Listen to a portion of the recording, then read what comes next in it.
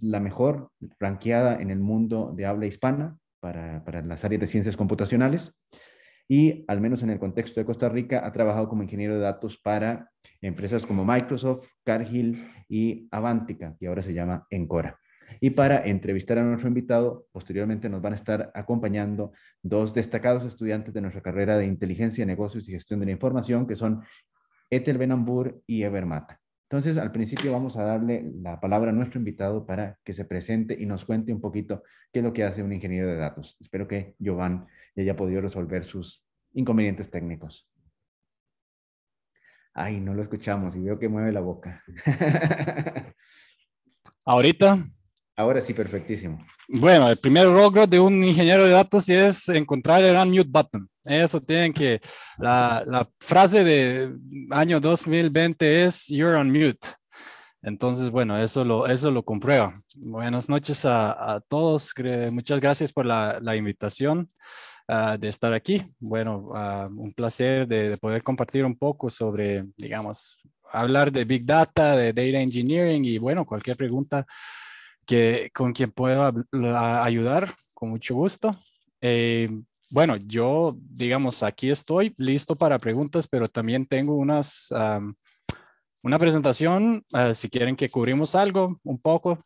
Si gusta, Jovan, comencemos con la presentación y luego eh. pasamos a las preguntas que los compañeros tienen preparadas. Ok, lista. Entonces, vamos a ver. Espero que screen sharing anda más fácil. Y sí. Vamos a ver. Lo, Ahí está. Sí, bueno, vamos a, a, mover estas cositas.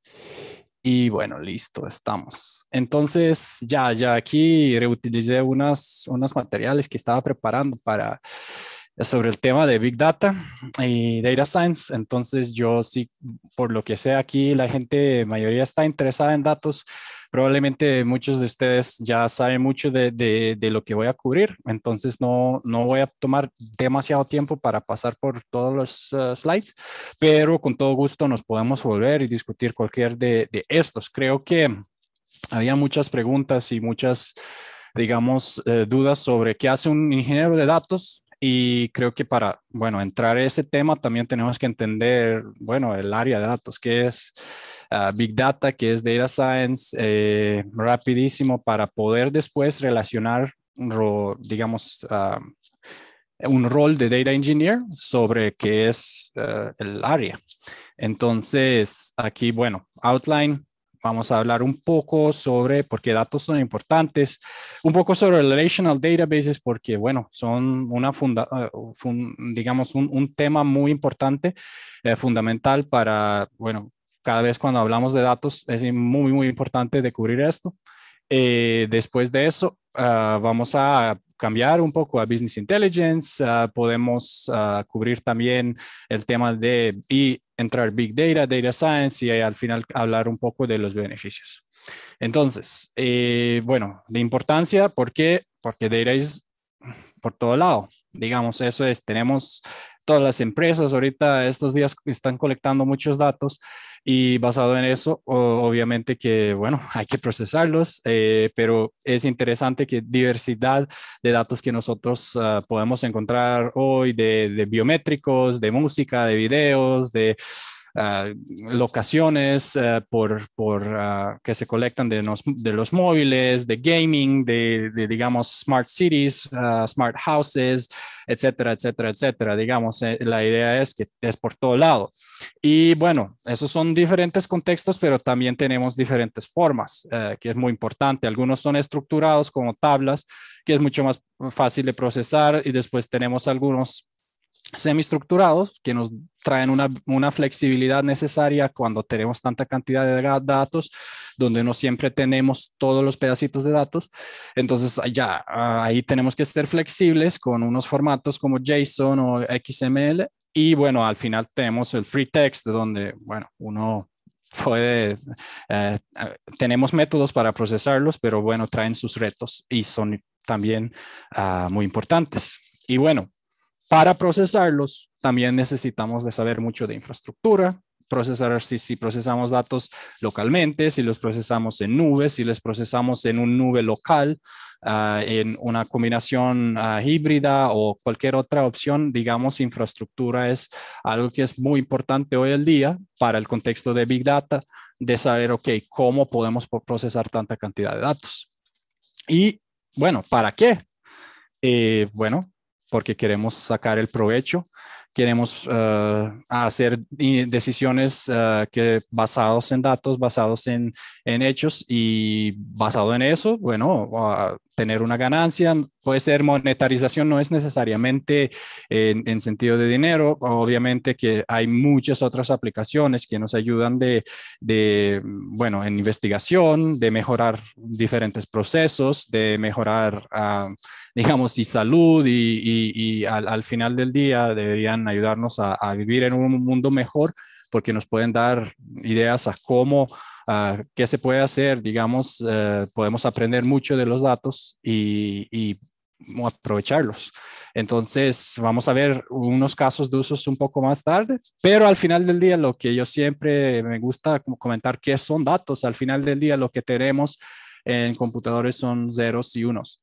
Entonces, unos y ceros, lo que cambia es cómo los interpretamos en diferentes contextos. Entonces, es importante entender cuando, proces cuando estamos entrando en ese nivel eh, para ver, ok, ¿qué es lo que tengo? Datos son siempre ceros y, y, unos. Lo que importa es, ok, ¿qué nos representan? ¿Cómo interpretamos esto? Y ahí es donde, bueno, en, en digamos, el método tradicional uh, bases de datos relacionales donde tenemos todo estructurado, tenemos esas propiedades de ACID que son muy importantes especialmente para procesamiento de transacciones y bueno, que son fundamento de muchas aplicaciones que tenemos hoy. Uh, en este contexto, eh, que, bueno, ustedes creo que todos saben que es un modelo relacional, entonces no voy a entrar um, demasiado en eso, pero lo importante es que hay una estructura definida donde nosotros sabemos el tipo de, de, datos, que, de columnas, de cómo están relacionadas, tenemos una álgebra, cómo procesarlo, y entonces todo esto nos permite una automatización de procesos, porque digamos, cuando uno quiere actualizar los datos, se comprueban todas las uh, relaciones que existen y que están definidas. Entonces, eso es algo que nos garantiza que datos son de calidad, pero tiene su costo de procesamiento. Y bueno, también tenemos SQL, que es un idioma, yo ah, hoy puedo decir, mucho, se utiliza en, en, contexto de Big Data muchísimo, se, contexto se utiliza en cualquier contexto, es, es importante eh, porque eso es un, digamos, un, un idioma que todos nosotros humanos hablamos muchas veces con datos. No es el único, pero es, es fundamental. Y con todo esto, bueno, eso so, funcionó súper bien y, pero bueno, estaban muy enfocados en transacciones. Entonces ahí viene inteligencia de negocios y la, idea de hacer, digamos, inteligencia de negocios, ok, enfocada en análisis, no tanto en transacciones, pero bueno, preparación de los datos para poder analizarlos y hacer decisiones. Y ahí, ¿qué es importante? Tenemos unos fuentes de datos internos que son, bueno, conocidos y controlados por la empresa en tiempos antes tenemos un proceso de limpieza, transformaciones y carga que es mm, también muy bien definido.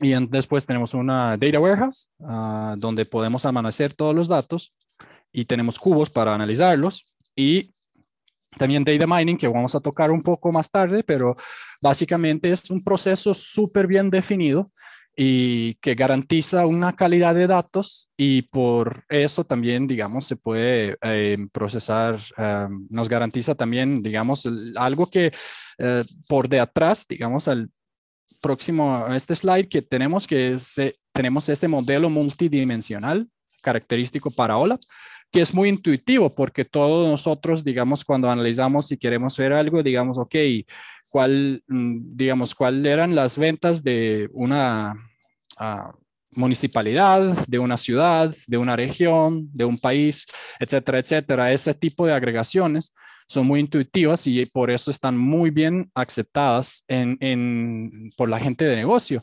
porque les permiten de entender cómo funciona el negocio. Pero nosotros también tenemos todo este, eh, digamos, estos fundamentos técnicos y una buena teoría de Star Schema, de OLAP, ah, que nos permite que, ok, bueno, cómo, cómo uh, hacer lo posible que ellos lo analicen automáticamente.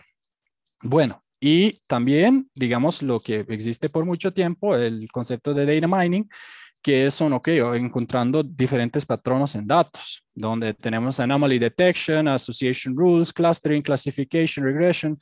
Tenemos diferentes algoritmos que se aplican sobre los datos desde hace muchos años, no es algo nuevo, pero lo que cambió ahorita es que, ok, ahorita tenemos el, lo que se dice horsepower para, para correr estos algoritmos en, en uh, unos clusters uh, enormes y, bueno, entonces sacar el provecho de, estos algoritmos que antes tomaban muchísimo tiempo.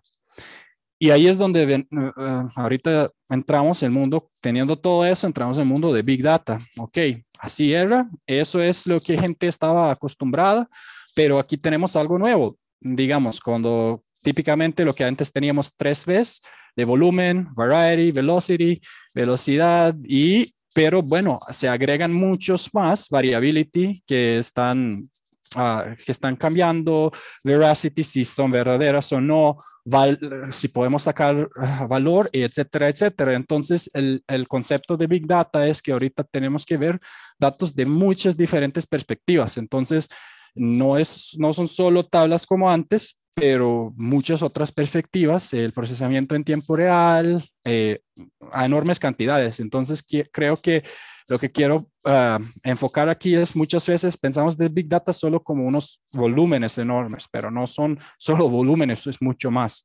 Entonces, ahí es donde entramos de, de nuevas tareas que están entrando. Eh, diferentes para un ingeniero de datos, que no es como antes solo BI, donde está el proceso muy bien definido, pero en, en área de Big Data, ahorita estamos abriendo una, una caja de tantas herramientas donde uno tiene que, digamos, entender, ok, ¿qué es Big Data para poder procesar y sacar el provecho? Y digamos, requirements. En ese sentido, se habla, ok, storage para almacenar muchas cantidades de datos y una manera, eh, como se dice, para que es resistente a fallas. Entonces, ahí tenemos Hadoop, ahorita tenemos, eh, digamos, unos eh, motores de procesamiento solo para queries, para hacer consultas que corren encima de una, eh, de un, un, un al, digamos, storage, pero no son justamente tan, tan, tan conectadas. Entonces es una, ok, tenemos esa perspectiva. Después tenemos, ok, cómo se hace el acceso, cómo se coordina el cluster, cómo se hace el procesamiento en real time y después tenemos otras aplicaciones y otras herramientas que vienen. Entonces, en Big Data, como digo, es que se abren muchísimo más posibilidades. Eh, ahorita, lo que es importante para cómo conectamos esto a lo que teníamos antes es que muchas de estas herramientas, si uno entra, eh, bases de datos tradicionales, lo que nosotros teníamos es como una caja donde por debajo todo está arreglado, tenemos un optimizer, query processor, storage, tenemos todo esto hecho para nosotros, nosotros lo estamos haciendo tuning y estamos haciendo consultas, pero se hace, digamos, por debajo, se hace automáticamente. En Big Data, eso cambia porque nosotros ahorita tenemos, eh, digamos, una herramienta para cada perspectiva. Y esto se cambia entonces en un proceso de como, a mí me gusta verlo como una puzzle, donde tenemos dos diferentes pedacitos que ahorita queremos poner en su lugar para poder tener eh, una, una eh, perspectiva, una, digamos, imagen completa. Y entonces, en este sentido, eh, tenemos de considerar muy importante el aspecto de Big Data es Big Data Architecture. ¿Cómo organizamos todas estas herramientas para procesar los datos? Y ahí es donde entra el Lambda Architecture, que, bueno, tenemos un, un, batch layer, speed layer, serving layer, que tenemos diferentes layers y ahorita tenemos también eh, nuevas versiones de Lambda Architecture que son, también tienen muchos otros, ah, digamos, elementos procesados muy, muy enfocados también en metadata, porque en un data lake necesitamos, en, necesitamos metadata para hacer lo que estamos guardando. Y bueno, entonces ahí es donde uno tiene que entender las necesidades de negocio y poder mapear, ok, ¿qué necesito toda esta arquitectura? Necesito solo una parte y cuál herramientas utilizo para, para combinar, para responder los requisitos de, de digamos, del negocio y lo, lo, lo, que necesita para mi caso de uso. Y eso es muy importante porque, bueno, ahí es donde el trabajo de un ingeniero de datos se pone muy importante de poner todos estos puzzles en su lugar y también diseñar soluciones. Y bueno, ¿para qué todo esto? Eh, bueno, el casos de usos son muchísimos, e-commerce, insurance, banking, transporte, eh, y etcétera, etcétera. Tenemos muchos. Entonces ahí es donde queremos ver. Pero ¿por qué se pone todo esto complejo? Bueno, vamos a ver, ya, ya lo justo antes eh, de esta presentación lo estaba buscando y aquí tenemos el, un paisaje de cómo parecen Big Data, uh, digamos, un paisaje de Big Data hoy, no solo de Big Data, pero también de Machine Learning, Artificial Intelligence. Entonces aquí pueden ver como en diferentes categorías Em, cómo se, bueno, ok, analytics, machine learning and artificial intelligence, aplicaciones, industry, computer vision, log, analytics. Esos son todos, cuando hablo de, pedacitos de puzzle, esto está creciendo muchísimo y cada vez más y más.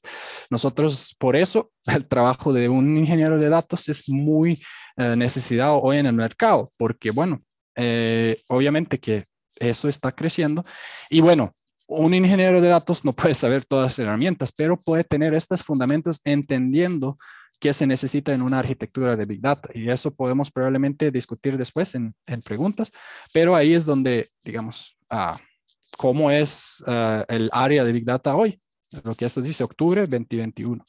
Entonces, eh, si alguien está interesado en área de Big Data, es, muy buena área para los trabajos. Y ahorita tenemos área también de Data Science, porque hemos hablado de Data Scientist contra Data y, y con comparación con Data Engineer.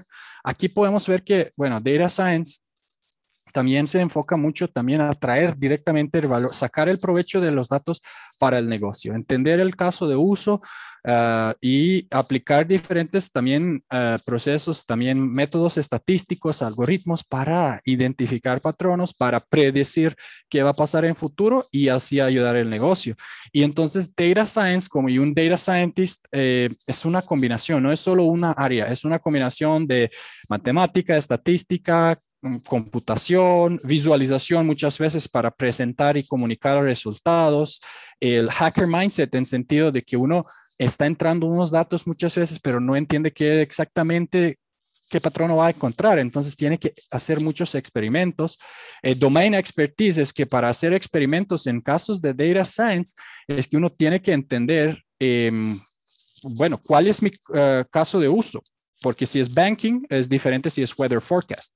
Entonces, en ese contexto, uno tiene que entender cuál, para identificar y definir algoritmos para, digamos, poder hacer un análisis que sirve y que, que, ayuda. Y ahí también data engineering, porque muchas veces que un data scientist eh, también saca unos, un, un, pedazo de datos y los está procesando para, para, generar toda esta magia y ayudar al negocio. Entonces, Data Science entra como una combinación de muchas cosas y vamos a discutir después, pero dependiendo de una de compañía, un rol de Data Scientist puede eh, variar eh, de pequeñas empresas donde un Data Scientist puede hacer todo y requisitos y diseño y, y ETL, ETL y todo, hasta análisis y, reportes y todo, modelos estadísticos, hasta grandes empresas donde, bueno, están muy, mucho más eh, enfocados en análisis estadística de datos.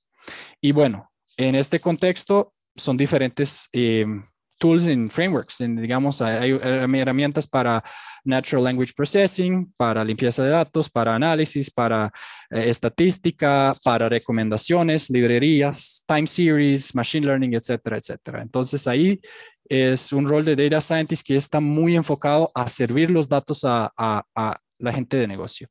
Y bueno, casos de uso, fraud detection, price optimization, predictive analytics, etcétera, etcétera. Digamos, todo lo que ahorita no es solo digamos, big un ingeniero de datos es como que cómo, dónde tenemos muchos datos y cómo los preparamos para ser consumidos.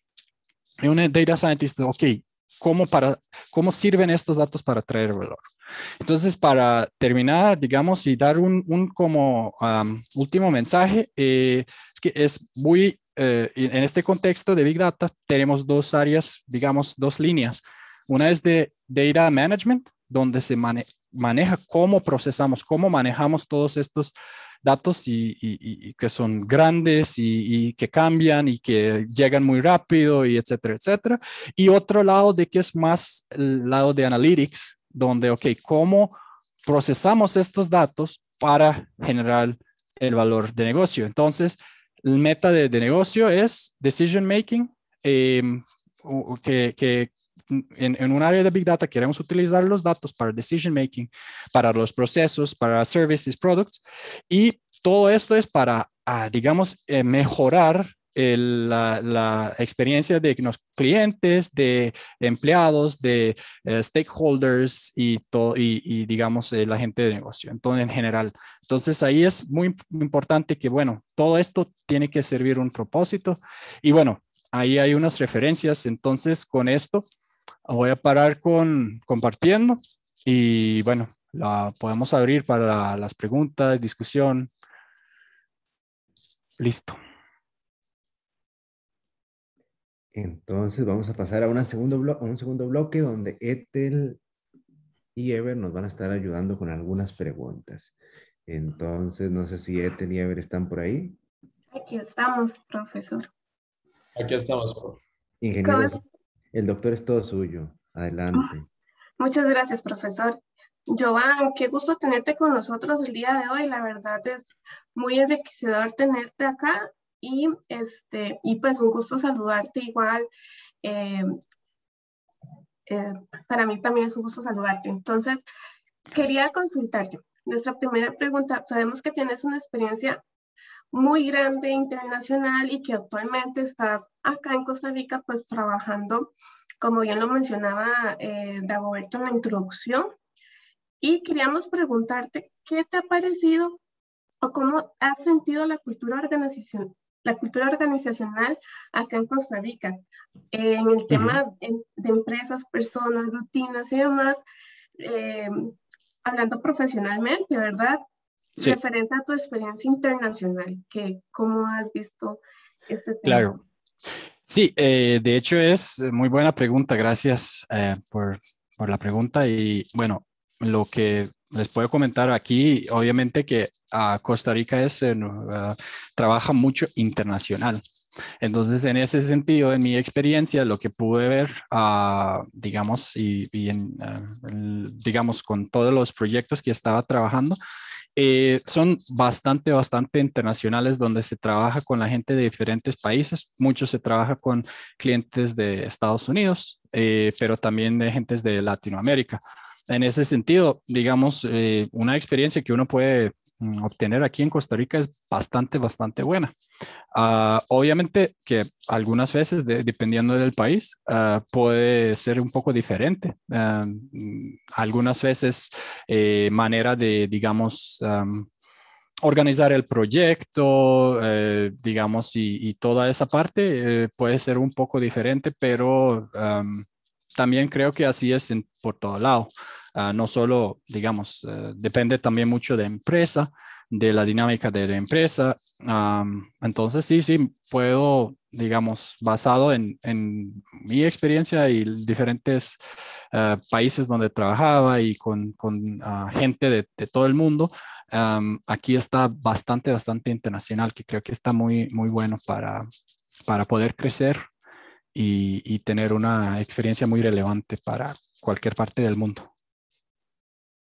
Excelente, muchísimas gracias por tu respuesta. La verdad es, es muy interesante y era muy importante saber tu opinión al respecto. Sí, con mucho gusto. Em, compañero Ever. Joan, qué bonito que hayas tenido una experiencia aquí. No sé si me escuchan. Sí. Ah, bueno. Eh, qué bonito que hayas tenido una experiencia muy bonita aquí en Costa Rica que le estás teniendo.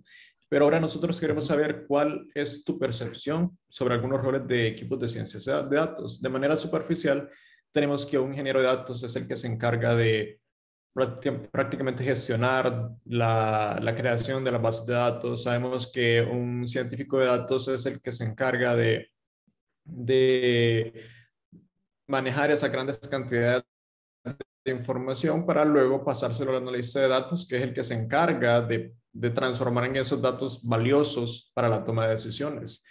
En los espacios que tú has trabajado, eh, ¿has tenido alguna experiencia con estos roles? Eh, ¿Cómo se comunican? ¿O en alguna ocasión tú has tenido tal vez que tomar varios roles al mismo tiempo? Sí, gracias por, por la pregunta. Em, bueno, corta respuesta, sí. Ahorita, digamos, yo creo que casi con, con todos los roles que vemos aquí, bueno, no tanto en MLOps, pero mucho con DataOps, que bueno, al final del día son de, de misma área. Entonces, em, y también dependiendo de los proyectos, había si los casos donde uno tenía que, que jugar, uh, digamos, uh, como se dice en inglés, uh, they have the different, uh, different hats, tener roles combinados. Entonces, um, no sé en qué nos enfocamos. ¿Nos queremos enfocar en, en ingeniero de datos o queremos cubrir una combinación que, que sería um, de más provecho para, para discutir? Aquí es un poco también reflexionar de en nuestro contexto cómo se, cómo se vive el equipo de datos. Lo digo porque las empresas en Costa Rica, al menos las empresas costarricenses, son muy dadas a, contratar gente para que sea el científico de datos, el analista de datos, el ingeniero de datos, el señor que barre, el señor que limpia, al mismo tiempo, ¿verdad? En el mismo rol, sí, el mismo salario. Y hay empresas, especialmente en otros contextos y otros mercados, donde está muy clara la distinción. Sí. Entonces, queríamos ver cómo estamos nosotros, al menos en la experiencia que tú has tenido, de si tenemos esta diversidad en el ecosistema o si las empresas tienden a un rol más generalista. Entiendo. Em, bueno, ahí es donde toqué diciendo que depende de la empresa, de, tamaño de empresa, que, que, que, es muy, muy impactante.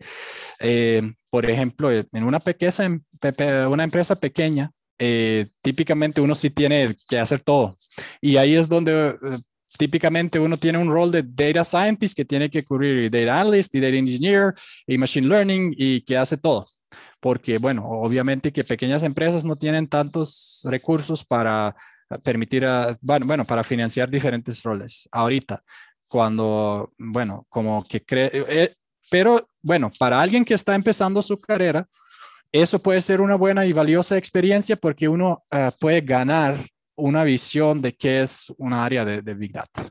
Digamos, no es que necesariamente eso es típica. Si usted habla con la gente de área y si habla con la gente que tenía experiencias en startups, ellos dicen, ok, yo, yo entro en startup eh, típicamente por, por, dos razones. Mm, para, bueno, por, porque son apasionados por la causa de startup y otra cosa es para aprender y crecer. Porque en, en, en, startup uno trabaja mucho, está expuesto en diferentes áreas y bueno, entonces aprende muchísimo y empieza a conectar, empieza a conectar ese procesamiento de datos con cómo los procesamos mejor para una, un algoritmo de, de, data mining o machine learning y también después cómo visualizamos resultados. Entonces, en ese contexto es eh, yo lo, digamos, en, en, mi experiencia también, en pequeños proyectos, uno sí tiene que, que, hacer diferentes cosas, pero es bueno porque uno puede crecer. ahorita, obviamente que como uno está, se más especializa en un área, entonces, si en más grandes empresas, ahí es donde viene, donde uno tiene las decisiones muy, muy claras y definidas, donde un ingeniero de datos está digamos, muchas veces está enfocado en lo que mm, se llama, no sé cómo sería en español, pero plumbing, haciendo, haciendo, haciendo todo para que datos donde llegan, donde deberían, eh, en un data lake, porque siempre hablamos de data lake, uh, entonces por eso un, un, ingeniero de datos se enfoca mucho en, en esta en esta parte donde, obviamente, donde nosotros em, digamos, cómo, cómo procesar los datos, cómo manejar calidad de datos para que los datos que vienen son de buena calidad, eh, cómo, digamos, procesar diferentes contextos, integrar diferentes herramientas, porque bueno, obviamente que lo que hemos visto, el paisaje de Big Data es enorme, entonces ahí es como, ok, bueno, y también entender, porque mm, muchas veces lo que es para mí muy interesante en área de Big Data, eh, tenemos muchas herramientas open source que son también ofrecidas como en unas soluciones de empresas, pero con otros nombres. Entonces, cuando uno empieza a entrar en esta área empieza a agarrar todos esos detallitos y, y bueno, ahí es donde, ¿qué le digo? Depende de dónde está uno. Si, si se enfoca en una empresa grande, va a crecer mucho más en una, un mismo rol y en unas empresas más pequeñas eh, va a cubrir más, más de solo, más que solo eso. Y en el rol actual, sin entrar en, en los detalles em, propietarios de Microsoft, ¿Hay una clara distinción de ingeniero de datos con respecto a científico de datos o analista de datos? Sí, sí, sí, es muy, muy, de momento muy bastante bien definido y bastante claro. Entonces, eh, trabajamos juntos porque, bueno, un, un, científico de datos puede eh, hacer una prueba de concepto, pero una vez que esa prueba de eh, concepto muestra valor, entonces se entrega a nosotros a hacerlo más robusto para producción y también unos análisis que van a preparar reporting. Entonces los roles son muy, muy ah, bien definidos. Que no significa que uno no puede tener, porque obviamente tiene colaboración. Entonces si uno tiene interés, puede colaborar, pero su rol, su responsabilidad es muy bien definida. Y ya, por ejemplo, nomás como para dar una pequeña referencia, este dibujito lo tomamos prestado de un colega ruso que usted probablemente conoce, que es Alexei Grigorev. Ajá, ajá. él, él, pone, por ejemplo, estos perfiles que están más acá, que son ingenieros de Machine Learning o MLOps. Ajá. Ya usted nos dio una pista, pero este tipo de cosas todavía no lo encontramos en nuestro medio, ¿verdad? Ajá. Sí, es, hay una necesidad grande porque lo que pasa ahí es, bueno, yo creo que podían hablar con Alexei, pero lo que pasa ahí muchas veces es que para, bueno, para hacerse uno Machine Learning Engineer tiene que trabajar mucho con datos y las empresas quieren contratar a alguien que ya tiene experiencia, pero no juniors para formarlos. Entonces ahí es donde se, yo creo que crea un, una, un gap donde hay que rellenarlo, digamos, dar oportunidades a la gente de, empezar de trabajar y formarse como unos Machine Learning Engineers, que no significa que no hay, hay gente y hay gente muy buena, pero uh, porque yo sí, sí, tengo, sí, sí tengo unos contactos bastante buenos en Machine Learning acá en Costa Rica, pero bueno, es, es um, todavía en proceso de crecimiento. Y en MLOps, para eso sí no conozco a nadie todavía. Eso sí es bastante nuevo. Lo, lo escuché, lo oí. Eh, de hecho, el Andrew Ng, este eh, profesor de Stanford, que está muy enfocado ahorita diciendo que, bueno, no, no, no, Machine Learning no debería enfocarse tanto en, en algoritmos, pero más en datos. Tener unos algoritmos out of the box y que la gente se entonces eh, enfoca a preparar los datos para poder plug them in en, en, en un algoritmo. Y ahí ese MMLOps va a tener mucho más eh, mucho más importancia. Etelever, disculpe por la interrupción, ahora continúa. No se preocupe, profe. De hecho, este, Joan, gracias por, Joan, gracias por tu respuesta, porque de hecho la siguiente pregunta que teníamos para ti es con respecto a los roles. Bien acaba de mencionar que hay momentos en que una persona hace todo dependiendo de la empresa, ¿verdad? Pero si imagináramos una, una, empresa que está en construcción de este departamento, de, de, cuáles de estos roles o cuáles, con, con, cuáles perfiles se podría comenzar y cuáles se pueden ir incorporando. Ya nos hiciste la aclaración de que algunos, pues, el mercado está un poco escaso, por decirlo así, pero digamos, una empresa que robusta que esté en construcción de este departamento, ¿cuáles serían los perfiles principales eh, que debería tener? bueno, para, contextualizar un poco lo que Ethel nos dice es, eh, suponemos que una empresa no nace de repente con un equipo de ciencia de datos así como lo estamos viendo. Es una suposición nuestra, que puede haber una especie de progresión en la que ciertos roles se incorporan al principio y otros se pueden incorporar después. Sí, exactamente. Ok, no, gracias. Eh, entiendo. Digamos, a lo que pasa muchas veces, eh, bueno, si, si, eh, si la empresa tiene muchos años y ya tiene un departamento de BI tradicional, entonces son mucho más, hay, hay mucha más probabilidad que van a ir para tener un data engineer o data analyst. Empezar con eso, porque bueno, Muchas veces la gente, digamos, data engineer es lo que se ahorita encuentra muchísimo en sentido de, digamos, la gente dice que, ok, BI engineer es data engineer y ya hacen esa transferencia a data engineer. Una empresa que está empezando de 000, em, yo diría, mi es mi, mi, mi, bueno, probablemente empezarían con data engineer o data scientist, porque, em, digamos, necesitan una persona que, bueno, que puede sacar los datos, procesarlos, prepararlos y al final, bueno, no tienen que ser ningunos algoritmos súper complejos. Ahí pueden tener unos, digamos, solo unos ah, cosas sencillas pero útiles que ayudan al negocio de, eh, digamos, hacer decisiones. Entonces, y hacer reportes, visualizaciones, estadísticas. Ahí es donde, digamos, eh, depende cómo uno lo ve, pero dicen es empieza con data engineer y, o data scientist que también toma el hat de, data engineer, porque entonces el data scientist se encarga de todo lo de, data engineer. Y ahorita cuando maduran y cuando están creando el departamento, entonces, ok, ya que tienen una persona que está cubriendo, digamos, y análisis, y engineer, y scientist, después empiezan de incorporar otras personas. Ahorita aquí quiero hacer un, un, comentario importante, es eh, hay que tener cuidado con los nombres de los roles y más enfocarse en descripción. Porque uno puede ver, lo que uno puede ver en el mercado es que, ok, dice Data Engineer, para cuando usted ve la descripción, el, esa persona tiene que hacer visualización y tiene que hacer y, algoritmos estadísticos y tiene que hacer todo. Entonces, no es un Data Engineer, es un Data Scientist. De otro lado, pueden encontrar alguien de, unos posts o unos roles que dice Data Scientist, pero ahí es más que nada hacer unos gráficos y unos, unas visualizaciones, que es más un Data Analyst. Entonces, hay que enfocarse mucho en, en, en la descripción del puesto, descripción del rol, creo.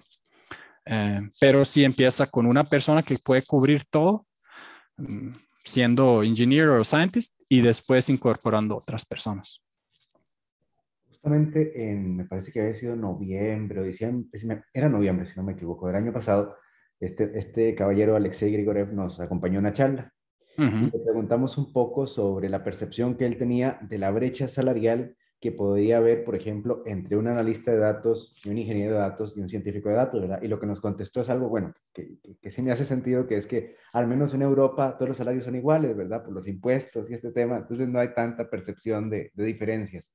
Aquí sí lo hay o no.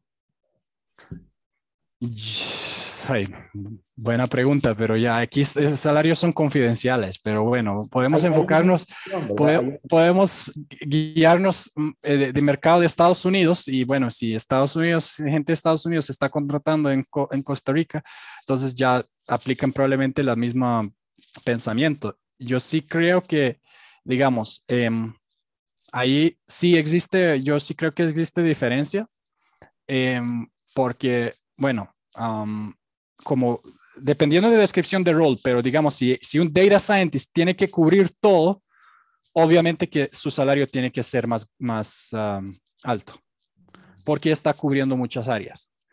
Pero después, como que hoy, lo que pasa es que hoy, digamos, todas las empresas, cuando entró el boom de Big Data, todas las empresas empezaron a crear un data lake y colectar los datos. Pero ahorita están llegando unos volúmenes de datos que dicen, oye, mira, ¿cómo lo procesamos? Y necesitan muchos ingenieros. Entonces, digamos, por estadísticas, yo sí creo que eh, Scientist, en ese sentido de que cubre todo, anda un poco más alto de ingeniero. Eh, Machine Learning Engineer anda muy alto porque son muy pocos en el mercado. Siempre hay ese, ese nivel de demanda y oferta, ¿no? Entonces, eh, yo sí creo que, digamos, en ese sentido hay, hay diferencias ahorita. Hay que ver cuál y cuántas diferencias. Eso sí, tendríamos que buscar unos reportes de, del mercado a, entenderlo mejor. Ya que mencionas el mercado, de, el mercado laboral, ahora centrémonos en sí en tu rol de ingeniero de datos. ¿Qué tan fácil o qué tan difícil es encontrar en el mercado laboral actual un ingeniero de datos? ¿Y cuál es el costo que tendría para una compañía tenerlo? Es decir, no tenemos que tal vez entrar en detalle, pero ¿qué, tan, qué tanto se pueden elevar los costos de tener un ingeniero de datos en una compañía? Eh, bueno, no hay muchos ingenieros de datos o, o digamos que hay mucha demanda y, y, y, no tantas personas que, que, que, puedan hacer un rol de, data engineer. bueno, en mi experiencia y bueno, en entrevistas que yo, digamos, entrevisté mucha gente y también a mí me entrevistaron. Entonces, en esa experiencia de ambas perspectivas veo que no, no hay tanta gente, no hay tantos ingenieros de datos. exactamente por lo que digo es que, digamos, las cosas muchas, muchas empresas demandan. Yo creo que con pandemia y con todo el mundo cambiando a work from home, la cantidad de datos generados ya se disparó. Entonces, es, es un, mm, digamos, es una área muy buena de estar ah, en ese momento. Y, y, bueno, ahí es donde uno, digamos, si quiere y si quiere hacer cosas bien, tiene muchas, muchas oportunidades. especialmente porque es todavía muy complejo. Yo sí creo que, em, bueno, como estamos creciendo y como tecnología se está desarrollando con machine learning y con inteligencia artificial, probablemente muchas de herramientas eh, se van a automatizar, pero todavía eh, nosotros tenemos la situación donde em, calidad de datos. Es que eh, Machine Learning y, inteligencia artificial está muy basada en datos que se utilizan para entrenar algoritmos. Y mientras que la calidad de datos no está tan buena, no van a poder reemplazar. Siempre se va a necesitar un humano para hacer. Y ahí es donde el rol de ingeniero de datos está muy, muy importante. Y yo sí creo que ahorita está eh, digamos, tomando y mucha más eh, importancia. Honestamente, yo pensé que Data Scientist va a disparar, pero creo que no, porque con cantidad de datos, todavía la gente al final del día necesita un reporte. Unos, la gente de negocio todavía necesitan un reporte que les diga indicadores, dónde se va su negocio y, y, y qué va bien y qué va mal. Entonces, y ahí es donde el ingeniero tiene que, como se dice, massage data a lot para que, para, digamos, llegar al, al punto donde se puedan hacer decisiones. No sé si respondí la pregunta, pero bueno, trato de... Claro.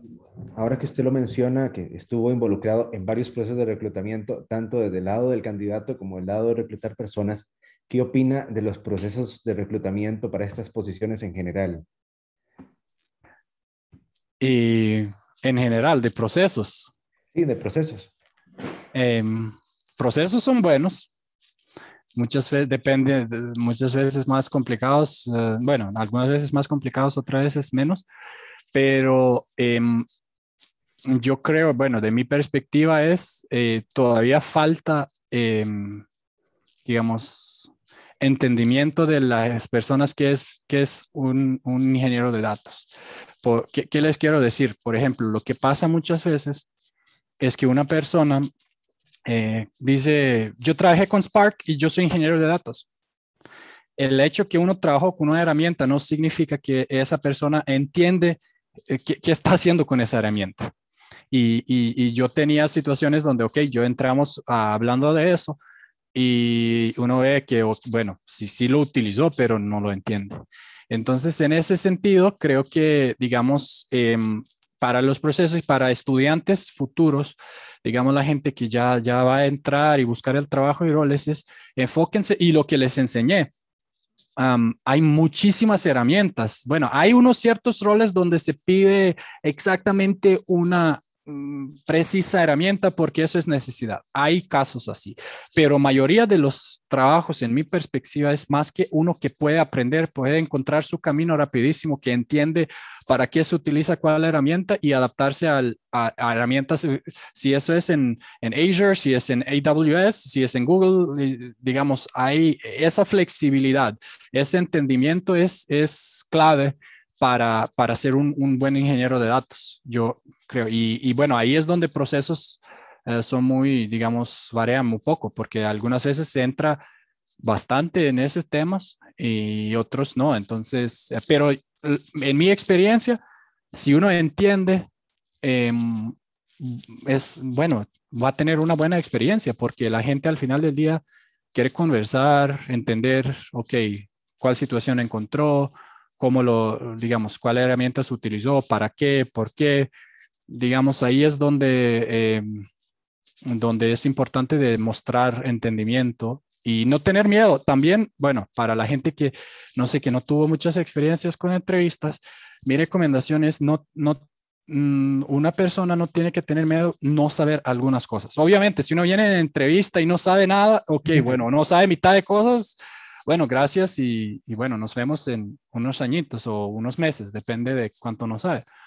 Pero en, en, situación que, ok, bueno, hay 10 herramientas eh, necesidades, si uno no entiende dos o no utilizó dos, bueno, es, suficiente eh, mostrar iniciativa en prepararse para entrevista, ver qué son esas herramientas, para qué sirven y ver, ok, cómo que uno opina. Entonces, eh, bueno, voy a parar aquí porque hay más preguntas y no quiero gastar todo el tiempo solo en eso, pero sí hay, sí hay muchas, digamos, hay muchos, hay diferentes procesos, pero el clave es entender, sentarse, porque si usted entiende, no importa, cualquier pregunta viene y no, no tenga miedo de, de si no entienden la pregunta, preguntar otra vez y decir, bueno, eso es lo que yo entendí, me es, es correcto, estoy en buen camino, no, ocupa algo diferente. No puede esperar que un, un, entrevistador le da respuesta, pero sí le puede guiar, digamos, eh, a hacer si, si eso es lo que preguntó o no. Ah, ahí es, ahí, ahí, ahí todo es un arte, haciendo entrevistas es un arte para, para digamos, es un trabajo solo para, para eso mismo. Bueno. Joan, muchísimas gracias. Vamos a cambiar un poquito y vamos a hablar sobre la educación de un ingeniero de datos. Sabemos que, bueno, te estuvimos investigando un poco y sabemos que bueno, tienes un doctorado, una maestría, eh, diferentes certificaciones, pero eh, tienes una educación formal e informal según vemos, ¿verdad? Eh, ¿Cómo entrenarnos para ser un ingeniero de datos? ¿Cuál sería la ruta de aprendizaje? Y qué importante es para ti tener un doctorado?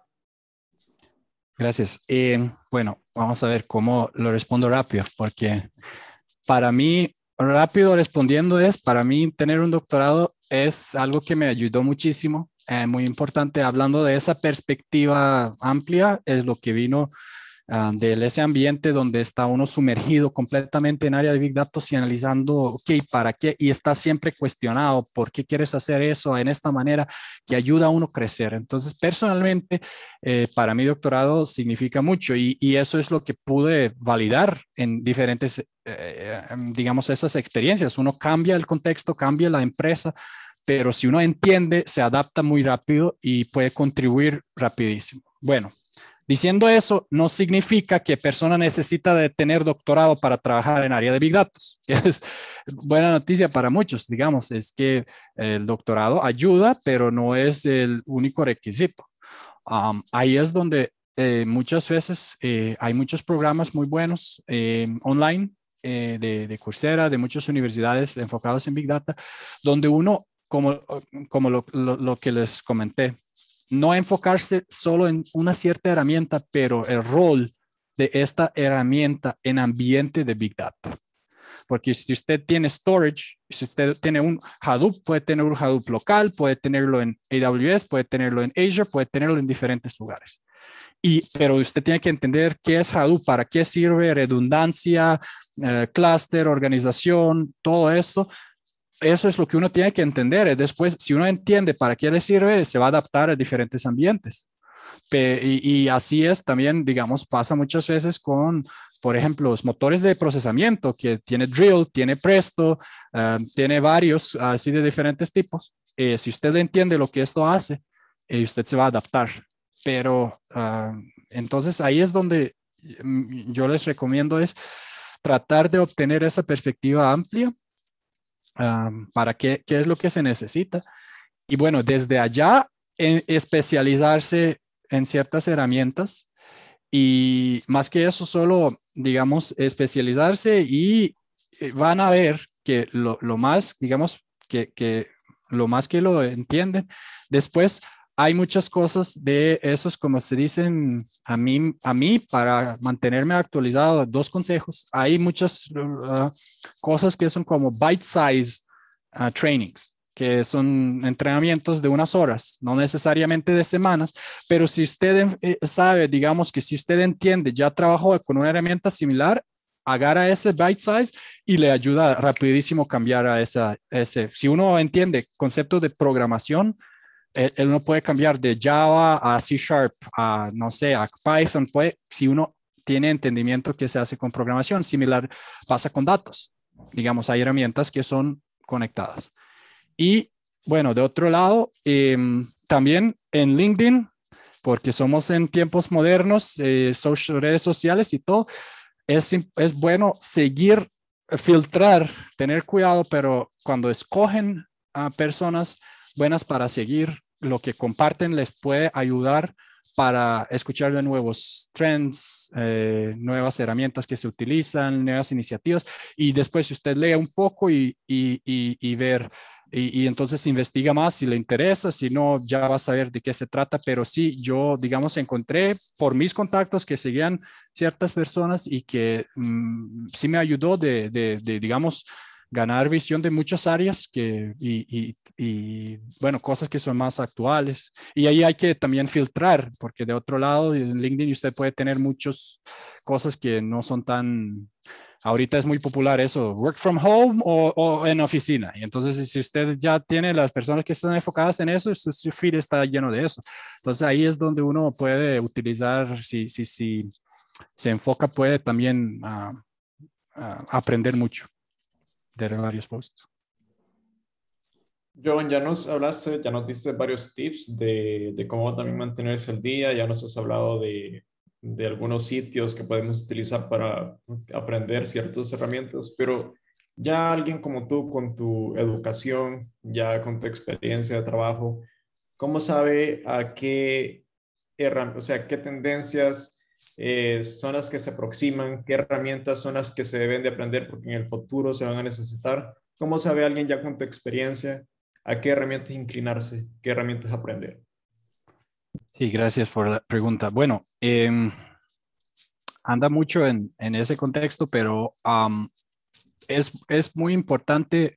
Hay dos, direcciones acá. Em, escuchar tendencias en industria, digamos, de, grandes empresas y de startups, porque startups muchas veces tienen buenas ideas. Entonces, usted, si está analizando lo que están haciendo, ahí puede ganar muchas ideas y de otro lado, em, hay muchas, eh, hay, hay, conferencias y congresos donde son como en, colaboración entre empresa y, y, academia y la gente de investigación, especialmente Estados Unidos y otros grandes eh, congresos donde usted puede ver, ok, ¿dónde vamos a ir? Por ejemplo, hay una donde la gente habla de qué es el próximo paso.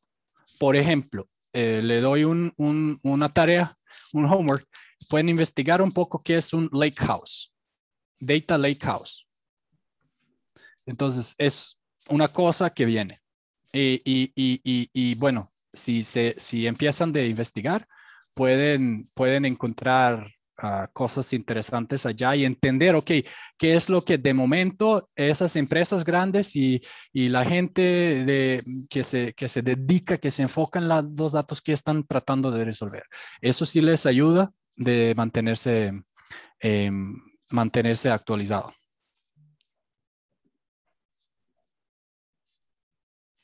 Muchas gracias. Muchas gracias.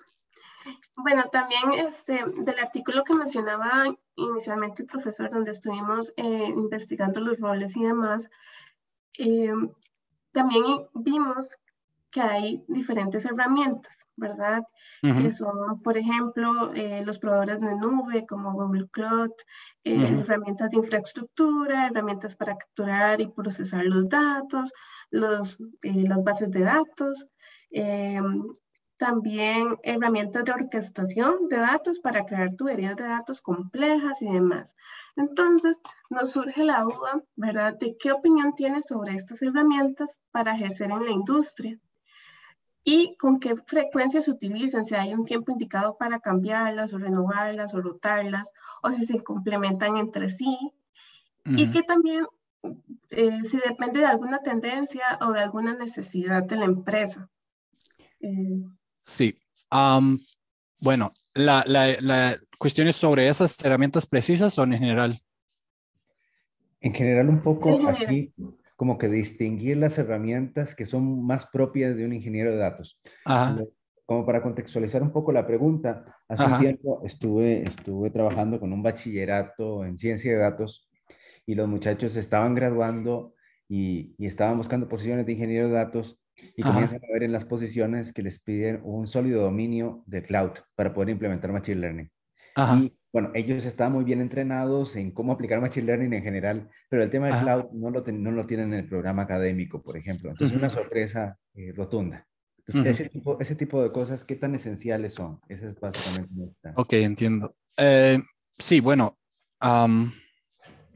es, digamos, buena pregunta, porque eso sí pasa cuando nos movemos en cloud. Hay, no es solo utilizar esas herramientas, pero hay todo un asunto de, de, de mm, seguridad, de autorización de, acceso a las herramientas de ese ambiente. Entonces, eh, cuando uno habla de cloud, em, y, y, ahí también hay, hay eh, ese modelo donde se, que es software as a service, donde se cobra por uso. Entonces uno tiene que saber cómo utilizarlo correctamente para no generar costos enormes.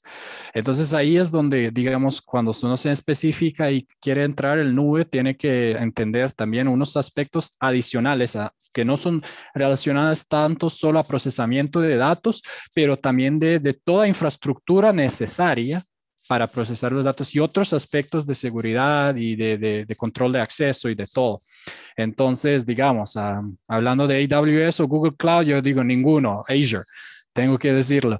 Entonces, eh, ahí es para, ah, pero bueno, eh, eh, un poco, digamos, hablando, hay, hay uno, proveedores de nube es importante de, digamos, ahí es donde yo sí creo que uno eh, tienen diferentes ofertas. Para un ingeniero de datos es bueno tener una visión amplia porque eh, no importa con qué trabaja, herramienta usted está trabajando, si usted lo entiende, digamos, puede mejorar y herramienta con que está trabajando y puede utilizar otras. Entonces, es, es bueno tener esa base, esa visión amplia.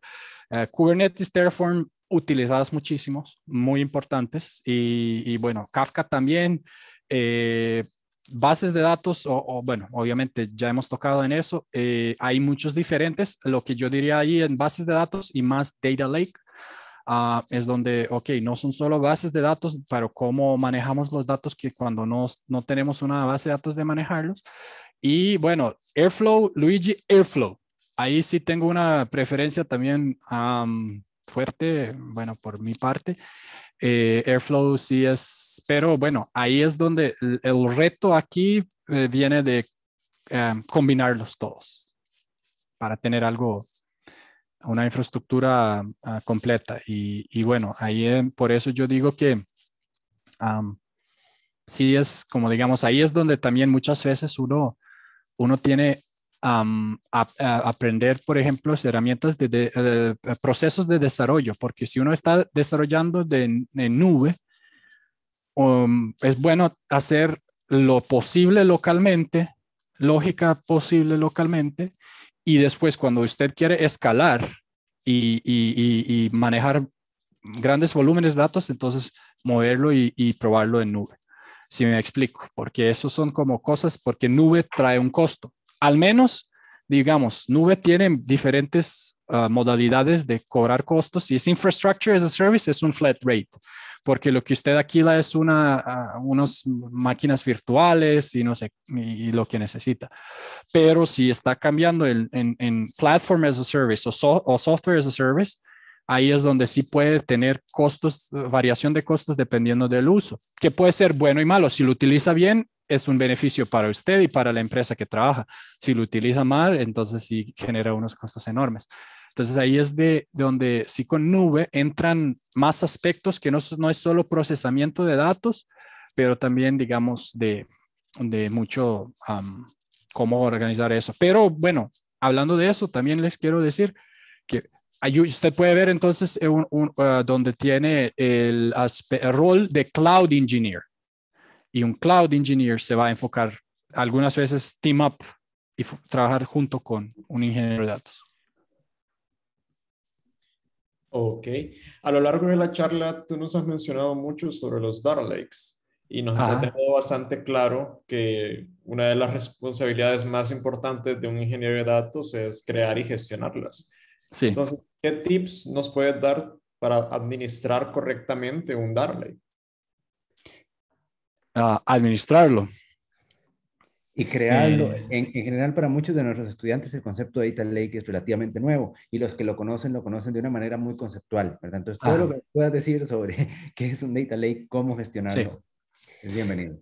Bueno, eh, vamos a ver, a cubrirlo rapidísimo, ah, pero obviamente podemos, ahí se puede entrar en muchos detalles, pero eso nos podemos volver a la arquitectura de datos que yo, yo mostré ahí, tiene unos diferentes layers de procesamiento, un batch donde puede almacenar, todos los datos, guardar todos los datos y bueno, tenía streaming donde él está procesamiento en real time. Lo que es importante con Data Lake es más enfocado en, en, batch y ahí es donde, eh, bueno, lo que pasa con Data Lake es que tenemos un uh, storage que, bueno, típicamente es Hadoop que que está replicando los datos uh, y ahí es donde se tiran todas las cosas porque Hadoop acepta todo, storage que usted puede tirar todos los tipos de, de, de, archivos y videos y música y todo.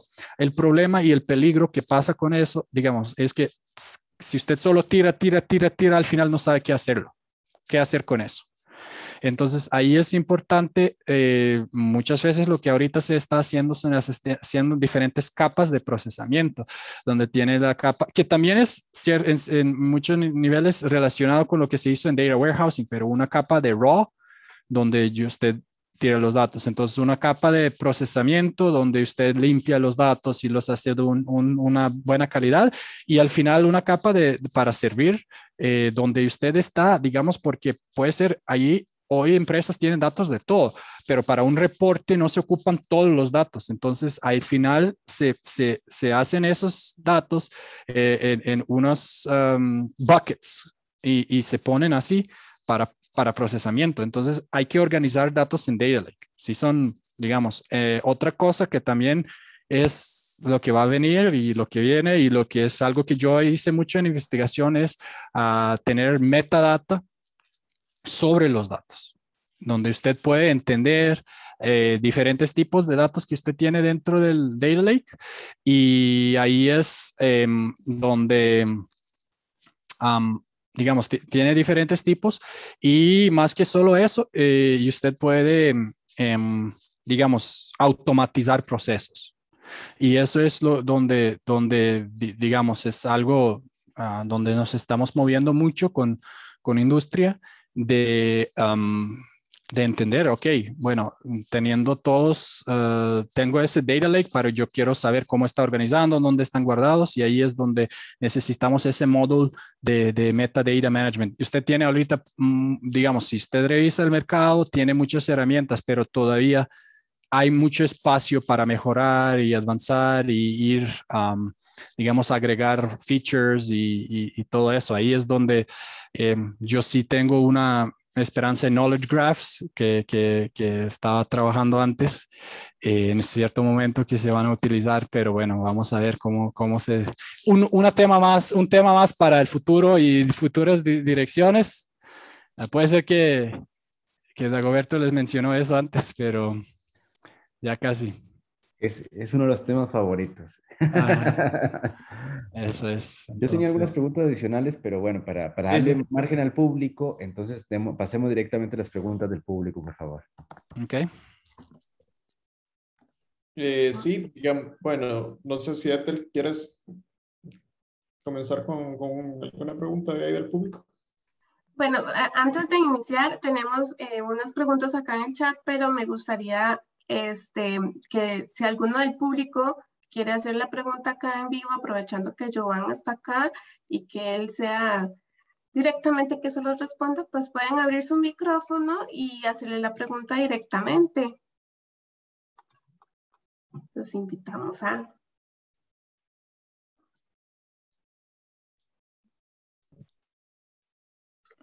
Bueno, si no, nos vamos entonces a las preguntas del, ah, del, chat. Hay una pregunta en particular que me llama mucho la atención, que la hace Olman Fuentes. Dice él que normalmente es el sector privado, eh, mayoritariamente es el sector privado el que explota los datos, pero ¿cómo se puede incentivar la explotación de los datos en el sector, en el sector público para que las decisiones sean basadas en ellos? Buena pregunta. sí, ¿cómo se puede motivar? bueno, hay, que existir la voluntad. Ahí es donde eh, también yo creo que Dagoberto es mucho más grande experto que yo en ese tema, el tema de Open Data, em, pero sí es, es importante de promover el, el beneficio de tener datos en sector públicos abiertos porque, bueno, una vez que las cosas están abiertas, eh, datos están abiertos, las cosas están muy transparentes. Y basado en eso, si están transparentes, entonces eh, eso ayuda al ciudadano a ver lo que se está haciendo y qué sería bueno hacerlo. Opinar, opinar sobre cuestiones eh, con, con, una manera informada, basado en datos. Y, y bueno, ahorita, como del lado técnico, eh, bueno, tenemos muchas herramientas. Ahí es donde el beneficio de tener muchas herramientas open source, donde el sector público puede empezar con open source, hacer unas pruebas y después migrar a, nube y hacer, una vez que ve beneficio, seguramente que puede, ah, bueno, también migrar y aprovechar las soluciones de nube y, y otras posibilidades de automatización. Pero creo que es ese twofold, tiene dos perspectivas de lado cómo permitirlo con un lado de, de, open source que les permite entrar y otro lado también ver beneficio. ¿Por qué lo estamos haciendo? Porque al final del día siempre es importante por qué los estamos haciendo.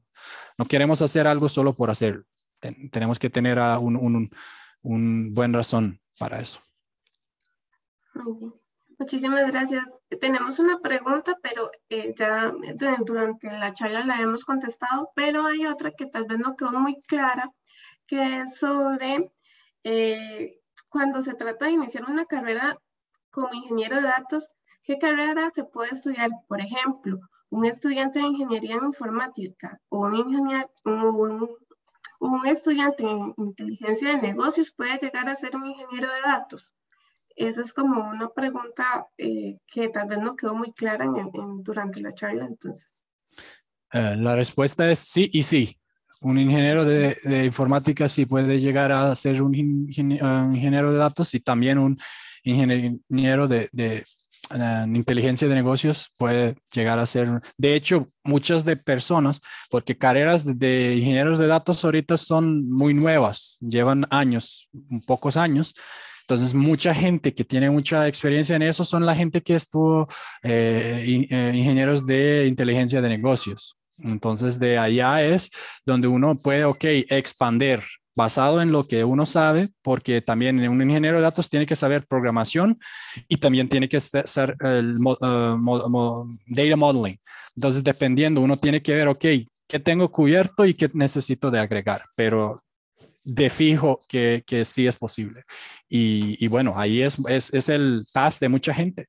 Mucha gente estuvo en el área de inteligencia de negocios. Nosotros empezamos investigación con, eh, eh, eh, bueno, en mi grupo con inteligencia de negocios y, y, una, un próximo paso natural era Big Data. Entonces, ahí es donde, digamos, sí son muy relacionados. De acuerdo. Eh, muchísimas gracias. Yo, esas son las preguntas que tenemos por parte del público. Profesor, no sé si usted desea continuar con las otras que tenías ahí. ¿Alguien más en el público que quiera consultar algo directamente al doctor Vargas?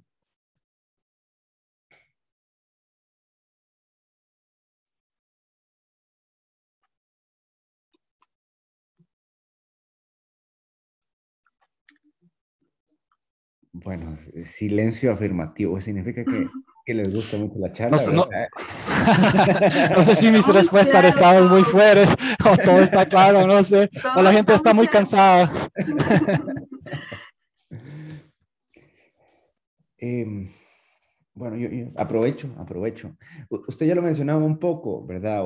la, la parte de grafos de conocimiento. A mí me gustaría como que como que sondear un poco cuál ha sido el valor que para su ejercicio actual ha tenido toda esa preparación que usted tuvo en, en semántica, En, computación semántica.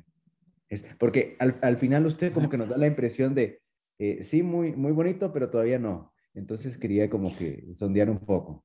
Sí, em, bueno, es, digamos, lo que hace unos meses o el año pasado estuve en un congreso de, hablando de data governance. Entonces, y en este congreso, em, una, de las, una de las cosas que se discute, em, bueno, que uno de los temas exactamente era cómo, cómo manejar este data governance.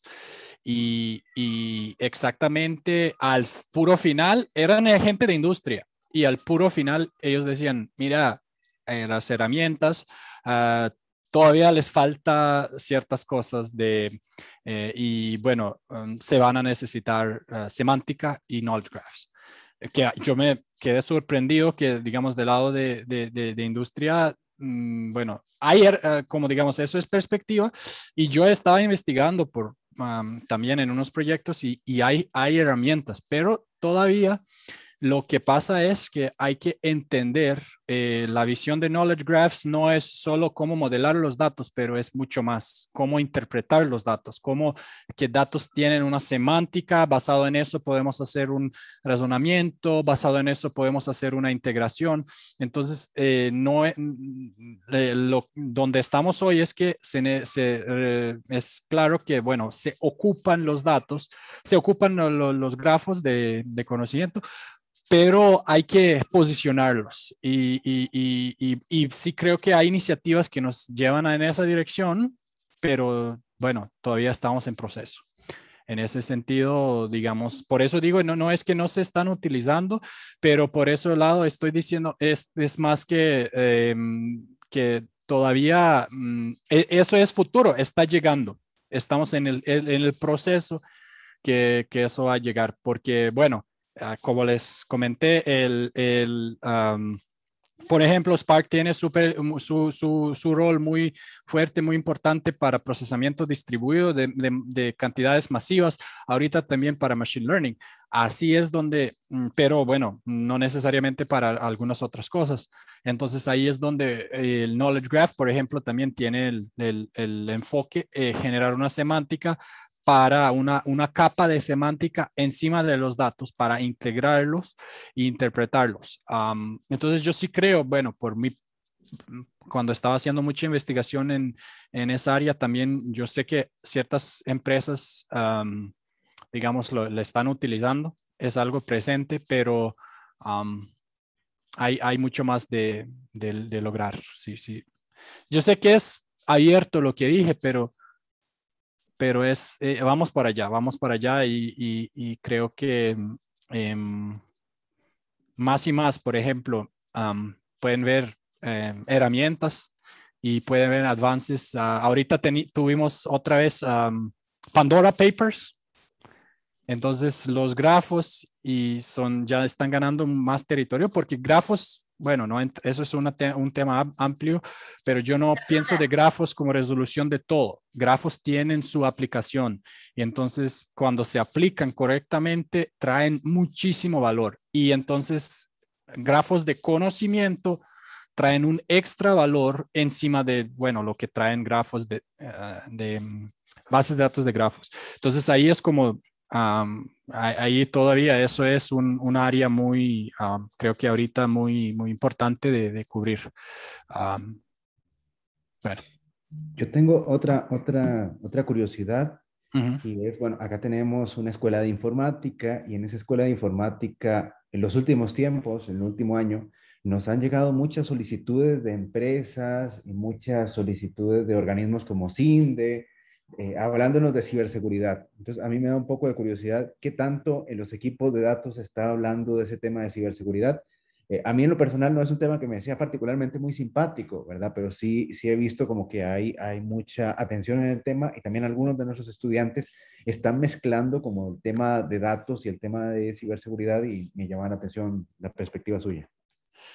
Eh, sí, no, gracias por la pregunta porque de hecho el ciberseguridad está importantísima.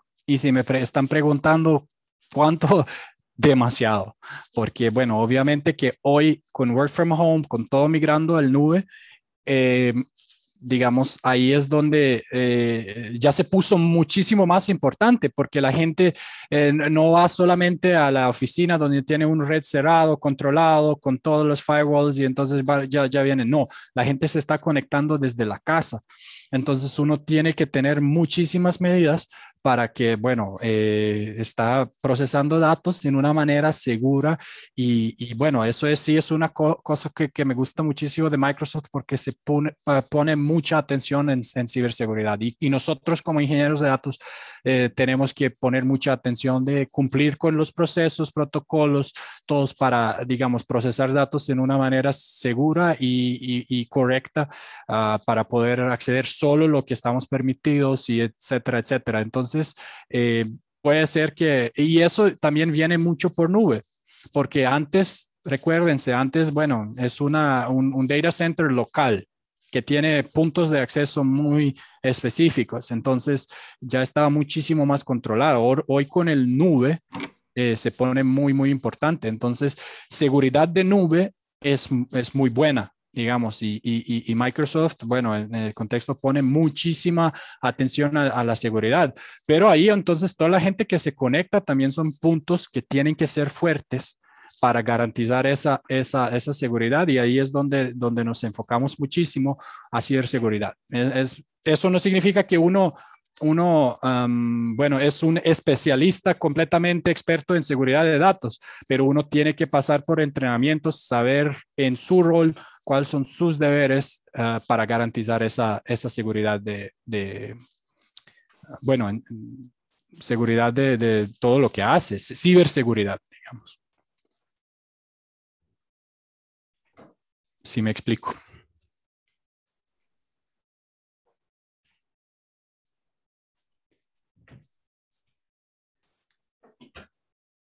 Ever, me parece que tenemos alguna otra pregunta del público. De hecho, estaba esperando a ver si tenías alguna otra pregunta, profe. Pero entonces, este, Joan, acá nos pregunta qué iniciativa... Eh, de hecho... Perdón. Sí. ok. ¿Qué no, no, dale tú, dale tú, perdón. Ya continúa. Oh, ok, perdón. ¿Qué iniciativas tiene Microsoft para promover esta especialidad en LATAM? Em, promover, ¿en qué sentido? Digamos, para entender la pregunta, déjame ver, a entenderla. Si está redactada en, un tono muy amplio, ¿verdad? Entonces, bueno, la podemos sí, En, un tono, amplio, ¿verdad? ¿Qué podríamos pensar aquí? Eh, ¿Qué, tanto se ve? Yo sé que usted no puede hablar a nombre de la compañía en lo global, pero sí puede darnos una, una perspectiva de qué tanto se ve la perspectiva de crecimiento. Hay, hay empresas que, por ejemplo, en Costa Rica, en diferentes ámbitos, dicen, em, yo me visualizo en unos años, pues, duplicando mi planta en ciberseguridad, por ejemplo, o en cloud, o eh, ver si ese tipo de cosas se, se, conversan. sí. ¿Cómo está el panorama, no? Bueno, no, ok, entiendo. Eh, eh, eh, panorama es muy positivo. Como Dagoberto comentó, yo no puedo, bueno, no, no estoy hablando de el nombre de la empresa, obviamente estoy aquí estoy hablando solamente en, mi propio nombre, pero bueno, como todas las empresas, Microsoft también tiene, digamos, eh, encuentra mucha importancia en, ingeniería de datos. Y entonces aquí en Costa Rica también eh, tenemos un equipo que, bueno, está, está creciendo. Entonces, de ese punto de vista, yo lo veo súper positivo para todas las personas que, bueno, están eh, interesadas en esta, en esta carrera, porque, eh, bueno, pandemia era muy dura para todos y todavía está muy dura para todos, pero bueno, para lo que nos, lo que sí impulsó es mucho trabajo desde cualquier parte del mundo. Y eso abre muchísimas nuevas oportunidades en, bueno, inclusivamente en, Microsoft. Eh, entonces, sí, de, fijo, que para, creo que un, ingeniero de datos de calidad no va a tener preocupación para eh, buscar el empleo. Y yo los invitaría a estar muy atentos de las oportunidades que ofrecen empresas como Microsoft para educarse. En ese sentido, aquí en la charla, algunos de los asistentes es la ingeniera Ramírez y la ingeniera Ramírez eh, a, mediados de año estuvo participando en una actividad organizada por Microsoft que era como el Cloud Challenge para América Latina. Bueno, eh, Sofía quedó ahí en el top 2% de los participantes. Entonces, ese tipo de iniciativas, estar bien atentos, ¿verdad? Fue la única de ustedes que se animó a participar. Entonces, para la próxima, yo espero que tengamos más público en el evento. Ok. No, no, muy, muy bien. Excelente. Felicidades a ingeniera Ramírez. Em, ¿Nos queda alguna otra pregunta, Ethel? Profesor, no, ya, ya estaríamos listos con las preguntas del público. Eh, acá nada más nos solicita compartir un link de las diapositivas, porque me imagino que, que usted nos hace el favor. Y yo creo que estaríamos. Yo creo que ahí lo, lo, más relevante sería preguntarle a Giovanni dónde lo podemos seguir. Sería muy relevante. Si, no, si, todavía no tiene, si todavía no tiene marca personal, pues bueno, hay que, hay que trabajar, ¿verdad? Pero... Sí, no, gracias. Eh, bueno, el, yo, yo sí sé que, que, algunos de ustedes ya, ya me contactaron por, por LinkedIn, entonces ahí siempre es, es bueno de estar en contacto y, y, bueno, cualquier pregunta con que yo sí puedo responder y ayudar, con todo gusto. Bueno, bueno y bueno, también gracias por, por esa oportunidad. Digamos que compartir siempre creo que es muy importante de, de motivar la gente de entrar a esta área. Eh, es muy interesante. Si, si les, a mí personalmente me gusta mucho. Eh, entonces, sí, sí, con todo gusto. gracias por, por todas las preguntas. De, de, hecho, los encuentro muy, muy relevantes, muy importantes. Espero que, que las respuestas le ayudan para, digamos, crear una visión, para, y, para ver, digamos, dónde quieren ir, qué quieren. Algunas veces eh, también es importante, ustedes hacen su, mejor y el resto, mm, digamos, va a venir tarde o temprano. Entonces, em, es, es un placer de poder compartir un poco de experiencia y les digo que, bueno, siempre el talento siempre se busca. Entonces, siguen con, entrenamientos y, bueno, cualquier cosa. Em, estaríamos en contacto. Y bueno, profesor Dagoberto también. Entonces, nomás recordarles que tenemos el concurso de la reseña. Nomás tienen que etiquetar a Blasid, ya sea en Facebook, Instagram, LinkedIn, me faltó alguna Twitter, y utilizar el hashtag CRPyData. Y también les puse ahí el enlace al perfil de Giovanni. También pueden etiquetar, etiquetar a Giovanni ahí para que lo hagan más famoso de lo que ya es, por favor. bueno, agradecerle mucho a Giovanni y agradecerle mucho al público y nos estaríamos viendo en alguna futura actividad. Muchísimas gracias a todos. Gracias a ustedes. Que pasen buena noche. Igualmente, buenas noches. Gracias a todos. Buenas noches. Hasta luego. Gracias.